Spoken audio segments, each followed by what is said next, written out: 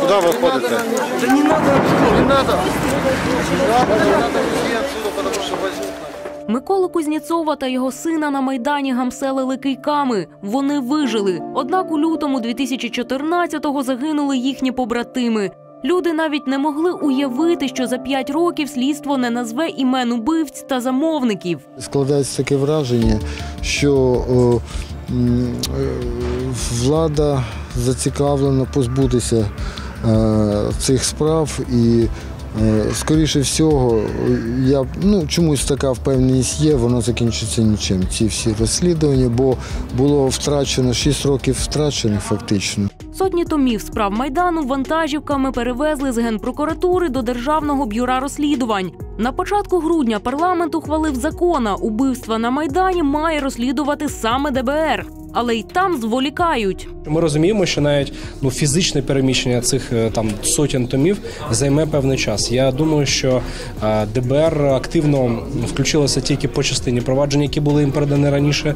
По цим провадженням, які обговорювали власне вся країна.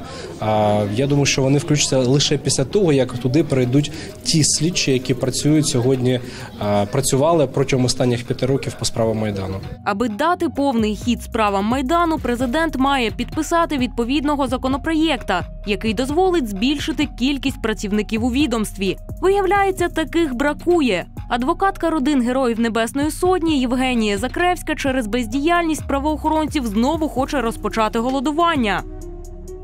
Можна, щоб кожен із вас тепер написав Володимирові Зеленському, що закон 2116 ним не підписаний скоро вже два тижні. Як відповідно, ні слідчі експерименти, ні допити, ні інші слідчі дії щодо майдану не проводять уже 25 днів. Президенту Зеленському взагалі справи майдану, як і сам майдан, це виключно подразник комфортного існування. Йому це по барабану. Для нього це не актуально, не, не пріоритетно. За майже п'ять років відділ спецрозслідувань генпрокуратури на чолі з Сергієм Горбатюком вагомих результатів так і не продемонстрував. Підозру оголосили 412 особам. За ґратами лише одна людина.